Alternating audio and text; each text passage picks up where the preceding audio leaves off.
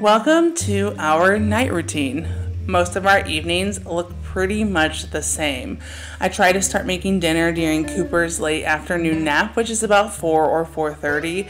Tonight I am making these honey garlic Asian inspired meatballs with a side of rice and to my surprise it was actually pretty good. It was better than I expected. I'll link the recipe down below in case you want to try it. But just a little disclaimer, I never actually follow a recipe. I just kind of glance at them for inspiration and then do my own thing. But I'll still link it down below in case you want to try it too.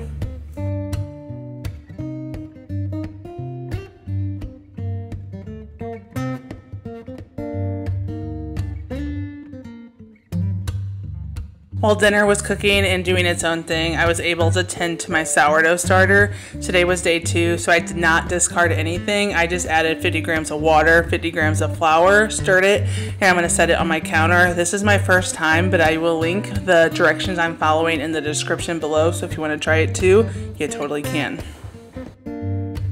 Whenever Zach gets home from work, he's always pretty eager to see little Cooper. Sometimes he's still napping, which can be such a disappointment when you haven't seen him all day.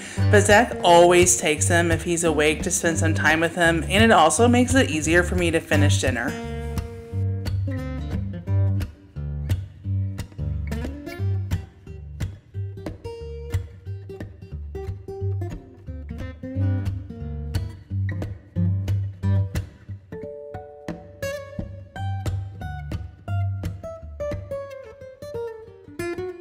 We are trying to be more intentional about eating dinner together. It is pretty challenging these days. We tend to just pass Cooper back and forth, and that's working for now. We're definitely looking forward to the days where he can eat dinner with us. We should start to be able to introduce food here in the next few weeks, so we're pretty excited about that. For the rest of the evening until bath time, we just spend some time together as a family. We take the dogs out to play, they definitely still need their attention too, and then we just relax. We all need time to sit back and relax at the end of the day.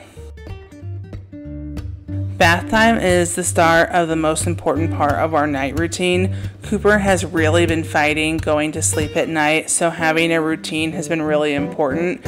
Giving him a bath relaxes him, and once we have a nice, fresh, clean baby, it is time to feed him. Something that we are really adamant about doing is his final feeding is in the dark, and we keep it boring from there. We try not to have the TV on, and we just try to set the tone for going to sleep.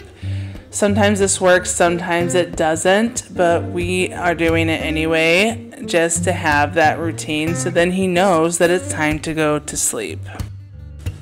Well, that's it for our night routine. Once Cooper goes to sleep, we typically go to sleep too, so we will see you tomorrow.